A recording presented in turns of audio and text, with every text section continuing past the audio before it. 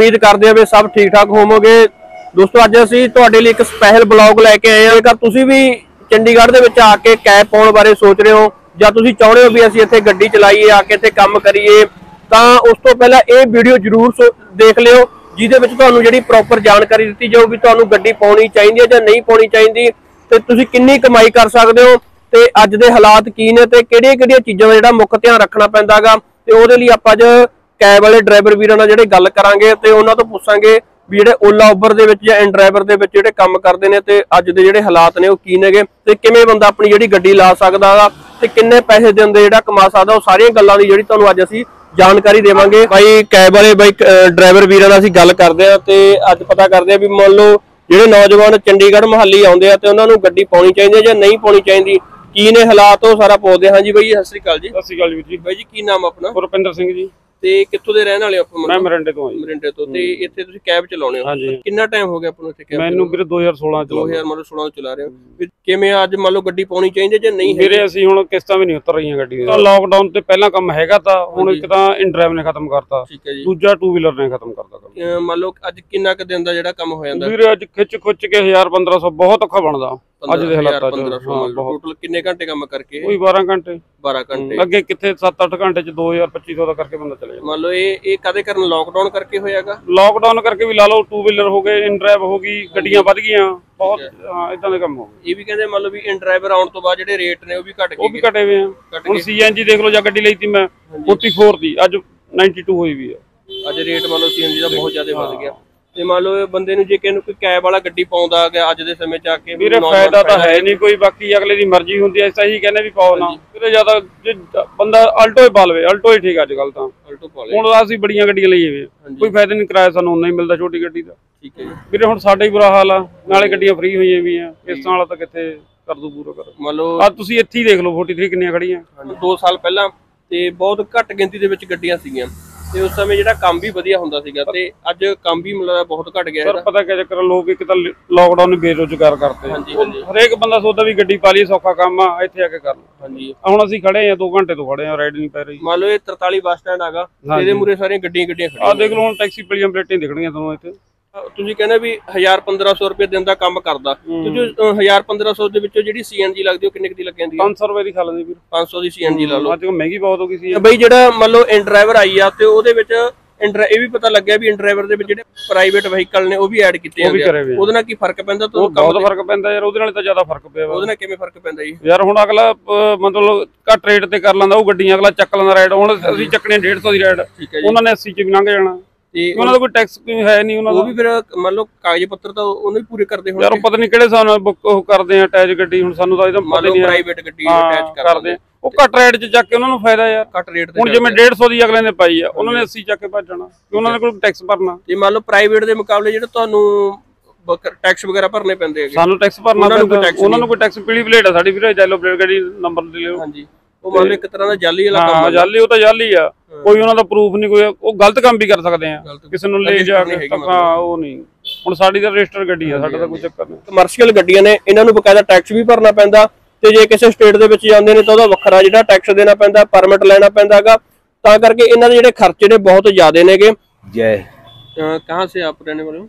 रहने वाले चंडीगढ़ के ही हूँ। ਚੰਡੀਗੜ੍ਹ ਕਿੰਨਾ ਟਾਈਮ ਹੋ ਗਿਆ ਕੈਬ ਚਲਾਉਂਦੇ ਨੂੰ कैब चलाते हुए एक साल हो गया है। 1 ਸਾਲ ਹੋ ਗਿਆ ਕੀ ਅੱਜ ਨੌਜਵਾਨਾਂ ਨੂੰ ਇੱਥੇ ਕੈਬ ਪਾਉਣੀ ਚਾਹੀਦੀ ਹੈ ਜਾਂ ਨਹੀਂ ਕਿਵੇਂ ਦਾ ਰ- ਅੱਜ ਕੰਮ ਹੈ ਜਿਹੜਾ ਇੱਥੇ ਕੈਬ ਦੇ ਵਿੱਚ कैब से काम है ऐसा करना चाहो तो काम कर सकते हो अगर आप कितने रुपया कमाना चाह रहे हो अगर एक लाख रुपया क- महीने कमाना चाह रहे हो तो काम नहीं है अगर तीस चालीस लाख रुपये तीस चालीस हजार रुपये कमाना चाहते हो तो काम आपके लिए है ਉਹਨਾਂ ਨੂੰ ਕਿਹੜੀ ਗੱਡੀ ਪਾਉਣੀ ਚਾਹੀਦੀ ਆ गड्डी यहाँ पे छोटी होनी चाहिए ਠੀਕ ਹੈ ਜੀ हाँ, बड़ी गड्डी की काम कम है छोटी गड्डी जैसे वैगनार वगैरह हो गई ऑल्टो हो गए ये सब की काम है ਹਾਂਜੀ बड़ी गाड़ी की काम कम है यहाँ पे ਠੀਕ ਹੈ ਜੀ तो छोटी गाड़ी में सर्वाइवल है ਹਾਂਜੀ, तीस पैंतीस चालीस हजार रुपये आप, आप कमा सकते हो ਠੀਕ ਹੈ ਜੀ बट इससे ऊपर कमाना है तो फिर ये, ये लाइन नहीं है आपके लिए ਠੀਕ ਹੈ ਮੰਨ ਲਓ 30 40 ਹਜ਼ਾਰ ਰੁਪਏ ਜਿਹੜਾ ਕਮਾ हाँ तीस चालीस ਤੇ ਦਿਨ ਦੇ ਵਿੱਚ ਕਿੰਨੀ ਮੰਨ ਲਓ ਦਿਹਾੜੀ ਪੈਂਦੀ ਹੈ ਇਹਦੀ दिहाड़ी मतलब हजार बारह सौ पंद्रह सौ सी एन जी काट के हज़ार पंद्रह पंद्रह सौ हाँ, रुपये तक दो हज़ार रूपए काम होती है पाँच सौ हम्म। रुपये आप सीएनजी और पेट्रोल के निकाल दो। बिना होता तो नहीं खर्चा कोई और कोई खर्च नहीं है जी।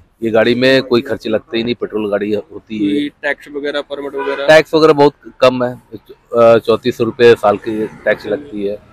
बीस बाईस हज़ार रूपए के साल में इंश्योरेंस लगती है। वो निकाल लो उस महीने थोड़े से कमाई कम लगेंगे। ये तो बिज़नेस है ये नौकरी है ही नहीं। ये अप डाउन इसमें दिखाई देगा।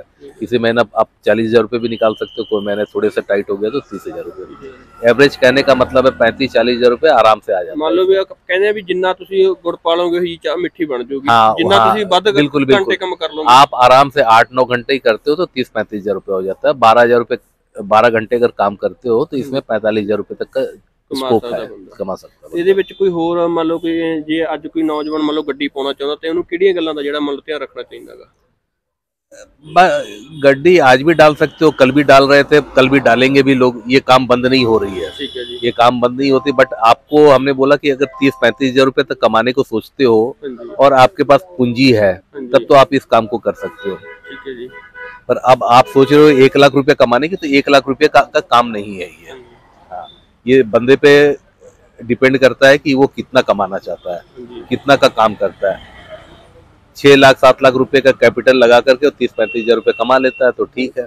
ਠੀਕ ਹੈ ਜੀ अगर उसकी एक लाख रुपए की नौकरी है तो क्यों इस लाइन में आएगा वो ਤੇ ਕਹਿ ਜਾਂਦਾ ਵੀ ਜਦੋਂ ਇਨ ਡਰਾਈਵਰ ਆ ਗਿਆ ਤਾਂ ਇਹਦੇ ਨਾਲ ਬਹੁਤ ਜਿਹੜਾ ਨੁਕਸਾਨ ਵੀ ਹੋਇਆ देखो इन ड्राइवर भी चल रहे हैं ओला भी चल रहे हैं उबर भी चल रहे हैं ਠੀਕ ਹੈ बट आज के डेट में चंडीगढ़ में मार्केट सिर्फ इन ड्राइवर की है इन ओला और उबर की कहानी खत्म हो गई ਮੰਨ ਲਓ ਤਿੰਨ ਉਹ ਚ ਕੰਮ ਕਰ ਸਕਦਾ ਓਲਾ ਉਬਰ ਦੇ ओला में in भी driver काम ਦੇ कर ਵਿੱਚ। सकता है उबर में भी काम कर सकता है इन ड्राइवर में भी काम कर सकता है काम करने के अपने अपने तरीके हैं ਠੀਕ ਹੈ जी तीनों ऐप को आप ऑन करके रख लो जिसको जिसमें आपको कस्टमर मिल गया राइड मिल गया उससे दो को बंद करो फिर लेके निकल जाओ ਤੇ ਜੇ ਮੰਨ ਲਓ ਤਿੰਨਾਂ ਚ ਬੰਦਾ ਇਕੱਠੇ ਇਕੱਠੇ ਆਨ ਕਰ ਸਕਦਾ ਲਗਾਤਾਰ बिल्कुल बिल्कुल तीनों इकट्ठे ऑन कर सकता है ऐसे इन ड्राइवर से ही काम हो जाती है बट अगर ओला ओवर भी जरूरत पड़ा तो उसको ऑन करके रखो जिसमें एक राइड लेना आपको एक राइड मिल गई दो राइड को छोड़ो दो ऐप बंद करो और चल दो यहाँ से तो ये काम सारी डिजिटल पे हो गई है ਹਾਂਜੀ आप राइडर से बात नहीं करते हो आप किसी ड्राइवर से बात नहीं करते हो आप किसी और से बात भी नहीं कर रहे हो काम अपनी कर रहे हो ਹਾਂਜੀ ਹਾਂਜੀ आपको ऑनलाइन पेमेंट आ जाता है पेमेंट दे देता है ਵੀ ਜੇ ਕੋਈ ਗੱਡੀ ਪਾਉਂਦਾਗਾ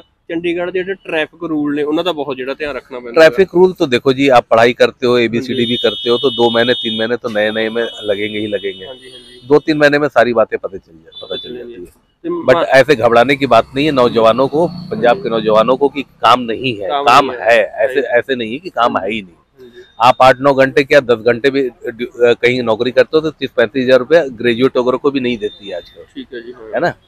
पर इसमें क्या है कि तीस पैंतीस हज़ार रुपये आप आराम से निकाल सकते हो। अगर आपके पास कैपिटल है छह सात लाख रुपए तो आप काम को कर सकते हो। कुछ ऐसा नहीं रहे डिस्करेज आदमी को नहीं होना कि लोग काम ही नहीं है काम ही नहीं है काम है। डिस्करेज होने की बिल्कुल बात नहीं है। बट इसकी उम्मीद एक वैगन आर आपके पास है तो वैगन आर की उम्मीद रखो ਹਾਂਜੀ अब BMW के साथ उसकी कंपैरिजन मत करो ਹਾਂਜੀ ਹਾਂਜੀ यही है समझने की ਜੇ ਕਿ ਗਿਣਤੀ ਵੱਧ ਗਈ ਕੈਬ ਦੀ ਕੀ ਇਹਦੇ ਨਾਲ ਮੰਨ ਲਓ ਡਰਾਈਵਰਾਂ ਦੀ ਜਿਹੜਾ ਇਨਕਮ ਦੇ ਉੱਪਰ ਜਿਹੜਾ ਕੋਈ ਫਰਕ ਪਿਆ ਜਾਂ ਨਹੀਂ ਪਿਆ भाई ऐसे कोई फर्क नहीं पड़ता है ਜੇ ਕੋਈ ਗੱਡੀ ਪਾਉਂਦਾ ਮੰਨ ਲਓ ਕੈਬ ਦੇ ਵਿੱਚ ਤਾਂ ਉਹਨੂੰ ਕੀ ਮੰਨ ਲਓ ਜਿਹੜੀ ਗੱਡੀ ਪਹਿਲਾਂ ਕਮਰਸ਼ੀਅਲ ਕਰਾਉਣੀ ਪੈਂਦੀ ਹੈ ਜਾਂ देखो जी पहले गड्डी आपको कमर्शियल करानी पड़ेगी ਹਾਂਜੀ पहले शोरूम से जब गाड़ी परचेज करते हो तो उसी टाइम आपको बोल के लेना है कि हम कमर्शियल कराएंगे तो आपका इंश्योरेंस वगैरह सारा कॉमर्शियल बनेगा। फिर उसके बाद पेपर को अपना कोर्ट जो है मोहाली का कोर्ट वहाँ पे जमा कर दो बन जाएँगे। बीस दिन पच्चीस दिन में सारे पेपर तैयार हो जाते हैं। मतलब पीली प्लेट वाली गड्डी पीली प्लेट पीली बिल्कुल पीली प्लेट ही गाड़ी चलाना है। उस उसमें कंप्रोमाइज़ नहीं करना है कि आपने व्हाइट प्लेट लगा लिया पर्सनल नंबर से गाड़ी ले लिया उसमें इंश्योरेंस कम पड़ती है बट वो गलत है बिल्कुल हंड्रेड वन ਉਹ परसेंट ਗੈਰ गलत ਕਾਨੂੰਨੀ है ਕੰਮ ਹੈ ਇੱਕ ਤਰ੍ਹਾਂ ਦਾ वो हंड्रेड वन परसेंट गलत है जिस दिन आप फंस जाओगे तो पूरे गाड़ी वाड़ी सब चौपट हो जाएंगे आपके। ਠੀਕ ਹੈ आजकल डिजिटल इंडिया हो गया है तो डिजिटल होने के चलते क्या हो रहा है कि आप बिना पेपर के गाड़ी ही नहीं चला सकते हो ਹੂੰ आप ये साल चला लिए बिना पेपर के अगले साल जब टैक्स जमा करने जाओगे तो इस साल का भी टैक्स ले लेगा आपसे ਹੂੰ ये सिस्टम है ਧੰਨਵਾਦ ਜੀ ਬਹੁਤ ਬਹੁਤ ਸਾਥੀਓ ਤੁਸੀਂ ਦੇਖ ਸਕਦੇ ਹੋ ਵੀ ਜੇਕਰ ਤੁਸੀਂ ਚੰਡੀਗੜ੍ਹ ਮਹਾਲੀ ਦੇ ਵਿੱਚ ਕੈਬ ਪਾਉਣ ਬਾਰੇ ਸੋਚਦੇ ਹੋਗੇ ਤਾਂ ਤੁਸੀਂ ਕੈਬ ਪਾ ਸਕਦੇ ਹੋ, ਪਰ ਤੁਹਾਨੂੰ ਇਹਦੇ ਲਈ ਜਿਹੜੇ ਇੱਥੇ ਦੇ ਰੈਗੂਲਰ ਰੂਲ ਨੇ, ਮੰਨ ਲਓ ਉਹਨਾਂ ਦਾ ਧਿਆਨ ਰੱਖਣਾ ਪਊਗਾ। ਤੇ ਜੇ ਕੈਬ ਪਾਉਣੀ ਹੈ ਤਾਂ ਤੁਹਾਨੂੰ ਕਮਰਸ਼ੀਅਲ ਗੱਡੀ, ਪੀਲੀ ਪਲੇਟ ਵਾਲੀ ਜਿਹੜੀ ਗੱਡੀ ਹੈਗੀ, ਉਹ ਪਾਉਣੀ ਪਊਗੀ ਤੇ ਉਹਦੇ ਸਾਰੇ ਡਾਕੂਮੈਂਟ ਜਿਹੜੇ ਪੂਰੇ ਕਰਕੇ ਰੱਖਣੇ ਪੈਣਗੇ। ਤੁਸੀਂ ਗੱਡੀ ਪਾ ਸਕਦੇ ਹੋ, ਇੱਥੇ ਆ ਕੇ ਕਮਾਈ ਕਰ ਸਕਦੇ ਹੋ। ਧੰਨਵਾਦ।